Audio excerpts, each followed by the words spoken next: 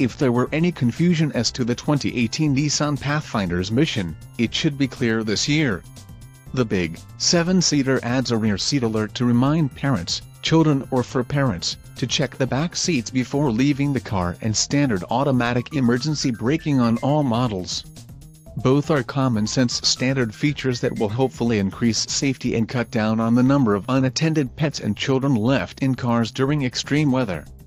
We rate the 2018 Nissan Pathfinder at a 6.7 overall with points for interior space and safety.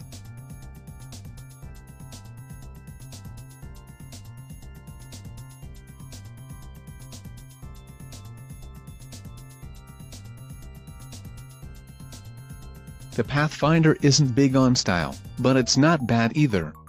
All Pathfinders look the same under the hood. A competent, but sometimes noisy, V6 is mated to a continuously variable automatic transmission and front or all-wheel drive. The Pathfinder has evolved into a smoother, competent crossover since its origins as a trucky off-roader decades ago. The Pathfinder's forte is its interior space, Front seat occupants will have the best seats in the house, but Nissan's approach to the second row is relatively unique.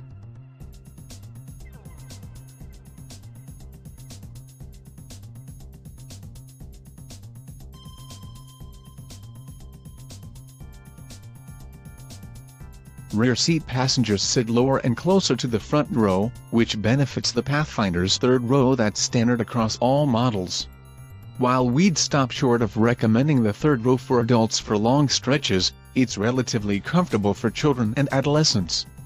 Base Pathfinder S models are relatively Spartan, but Platinum models can rival luxury competitors.